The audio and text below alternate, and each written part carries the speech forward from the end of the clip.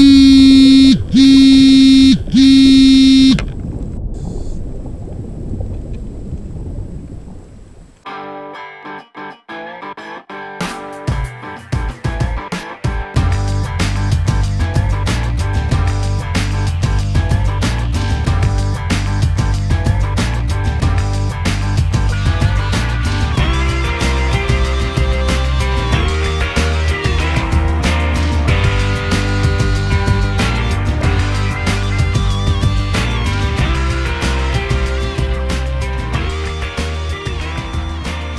Hallo und herzlich willkommen. Hier ist Andreas von Blue Wave Films.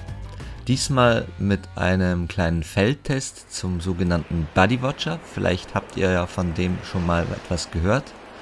Der Buddy Watcher besteht im Prinzip aus diesem Gehäuse mit einer großen und kleinen Taste, obendrauf ein Zylinder und was das Ganze auf sich hat und wofür man den Buddy Watcher so gebrauchen kann, das klären wir jetzt in den nächsten Minuten. Wie der Name Buddy Watcher natürlich schon vermuten lässt, ist dieses Gerät natürlich hauptsächlich der Sicherheit geschuldet. Um im Notfall mal seinen Buddy rufen zu können, gibt es diese große Ruftaste, mit der man das Gerät auch einschaltet, wenn man etwas länger drauf drückt. Daraufhin gehen diese LEDs an. Die obere Reihe hier zeigt mir an, wie voll der Akku da drin noch ist. Der lässt sich übrigens nicht austauschen, sondern verbleibt die ganze Lebensdauer des Geräts lang da drin. Schalten wir mal den zweiten Buddy Watcher auch noch ein. Das ist ja zwingend notwendig. Einer alleine nützt ja relativ wenig. Hier sieht man oben noch drei LEDs. Das heißt, dieser Buddy Watcher ist etwas voller als der Kollege hier nebenan. In den Zylindern hier oben befinden sich übrigens die Sende- und Empfangseinheiten. Damit das auch funktioniert, muss man die beiden Buddy Watcher übrigens paaren, das heißt synchronisieren, aufeinander abstimmen.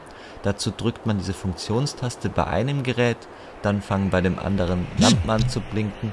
Man bestätigt das kurz, indem man auf die jeweilige andere Funktionstaste drückt und schon kann man damit loslegen. Dieses Paaren der Bodywatcher ist notwendig, damit wirklich nur diese beiden Geräte aufeinander reagieren und nicht eventuell andere, die sich in der Umgebung befinden. Wenn man das vor dem Tauchen in der Luft testen will, dürfen die Bodywatcher nur wenige Zentimeter auseinander sein.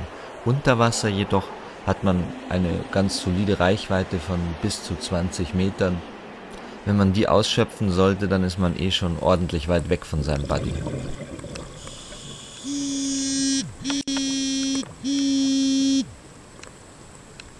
Wie schon erwähnt, ist der Akku fest in den Geräten integriert. Das heißt, wenn ich aus dem Wasser komme und vergesse, weil ich noch so begeistert bin von der ganzen Unterwasserwelt, den Bodywatcher auszuschalten, kann es sein, dass beim nächsten Tauchgang die Batterie komplett leer ist und ich ihn nicht nutzen kann. Das muss man sich also wirklich merken und so wie man die Flasche zudreht, auch immer den Bodywatcher ausschalten, sonst findet der nächste Tauchgang eventuell ohne Bodywatcher statt, weil die Batterie leer ist. Apropos Batterie, wie lang hält dieser Akku? Hängt natürlich davon ab, wofür ich den Bodywatcher benutze. Wir haben ihn natürlich hergenommen, um uns auf irgendwas unter Wasser aufmerksam zu machen und dann schon so zwei, dreimal pro Tauchgang drauf gedrückt. Bei dieser Art der Nutzung hat uns der Bodywatcher den ganzen Tag gute Dienste geleistet und wir konnten da locker so vier Tauchgänge damit machen. Vielleicht wäre sogar noch ein fünfter drin gewesen. Der Bodywatcher ist also durchaus auch für eine Safari geeignet. Verwende ich den Bodywatcher jedoch dafür, wofür er ja eigentlich gebaut wurde, nämlich nur dann drauf zu drücken, wenn ich in Gefahr bin. Also im Idealfall drückt man dann eigentlich nie pro Tauchgang drauf, dann hält der Akku natürlich deutlich länger. Wie lang kann ich euch leider nicht sagen, denn wie gesagt, wir haben ihn hergenommen, um uns auf Tiere unter Wasser aufmerksam zu machen und haben da schon des öfteren mal drauf gedrückt. Eine Besonderheit des Bodywatchers ist es übrigens auch, dass er sich nach vier Tagen selbst entlädt um so den Akku besser lagern zu können.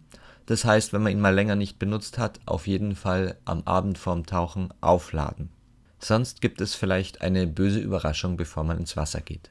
Und mit dem Stichwort Aufladen sind wir auch schon gleich beim nächsten Thema angelangt. Der Bodywatcher braucht relativ lange, bis er aufgeladen ist. Also so fünf Stunden in etwa je nach USB-Ladegerät, das man dafür verwendet. Das ist übrigens nicht im Lieferumfang enthalten. Dafür gibt es aber diese Bügel, wie ihr hier seht, die werden über den Bodywatcher drüber gelegt und die verbinden sich dann mit diesen Goldkontakten, die wir vorhin schon gesehen haben. Die zeige ich euch auch gleich nochmal. Die Kontakte sind hier oben hinter der Funktionstaste zu finden. Und ja, ähnliche Stifte gibt es dann an dem Bügel. Den legt man über den Zylinder drüber, drückt einmal feste drauf und schon beginnen dann eben diese Statuslämpchen hier an zu blinken. Und so nach circa fünf Stunden, zumindest mit meinem USB-Ladegerät hat es so lange gedauert, ist so ein Bodywatcher dann wieder aufgeladen. So, kommen wir auch gleich zum Fazit. Hat es sich gelohnt, sich so einen Bodywatcher anzuschaffen? Ich denke, hier muss man unterscheiden, wofür man ihn wirklich hernehmen will. Soll der Bodywatcher ein reines Sicherheitsmerkmal sein, also sprich nutze ich ihn wirklich nur im Notfall, dann ist er wie eine Tauchversicherung auch. Dann bin ich froh, wenn ich ihn nicht gebraucht habe. Und ich freue mich noch viel mehr, wenn ich ihn gebraucht habe und dadurch vielleicht aus einer bedrohlichen Situation herauskommen konnte. Das in bare Münze aufzuwiegen, ist natürlich immer schwer.